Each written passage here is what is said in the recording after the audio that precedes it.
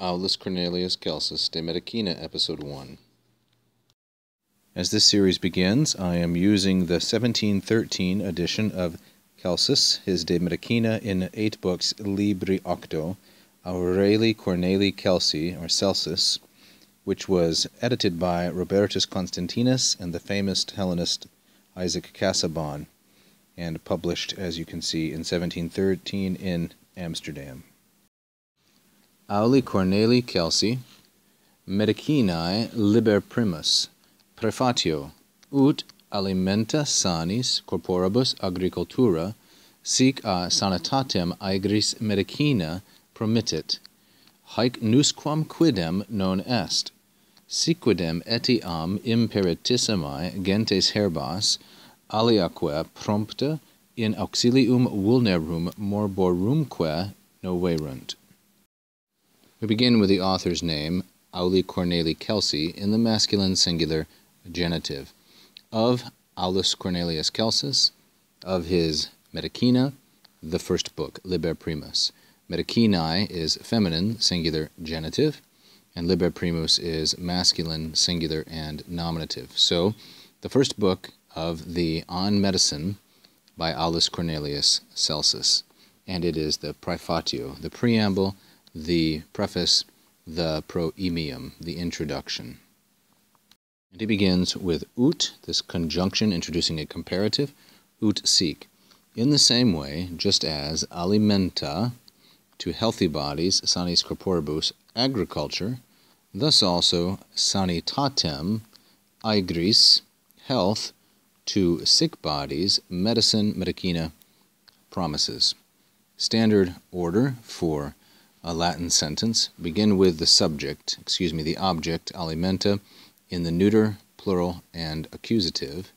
Alimenta are those things. Alo, alere is the noun, third conjugation from which this is derived. Foodstuffs, nourishment. As nourishment to healthy bodies, sanis corporibus, which is the indirect object in the neuter, plural, and dative. As nourishment to sick bodies, agriculture, promises, promittit, so also sic sanitatem health, aegris to sick bodies, medicine promises.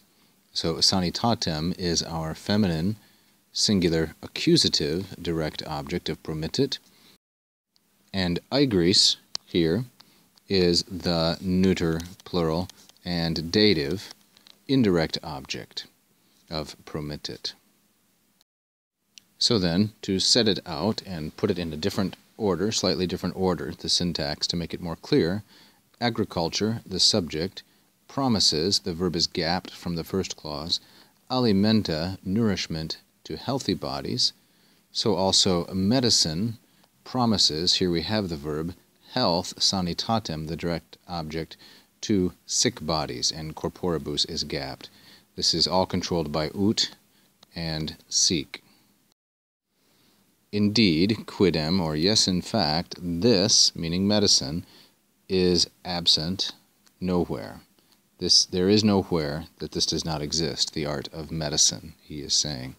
Siquidem, etiam, even if, even so, imperitissimi, the most inexperienced or ignorant races, gentes, the most inexperienced nations, herbas, noverunt. They have knowledge of special herbs and alia prompta and other things ready at hand, prompta, alia prompta, as a help in auxilium, for a help, vulnerum morborumque.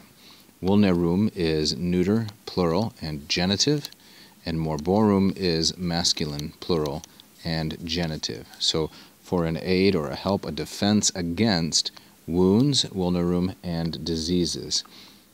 Morborum.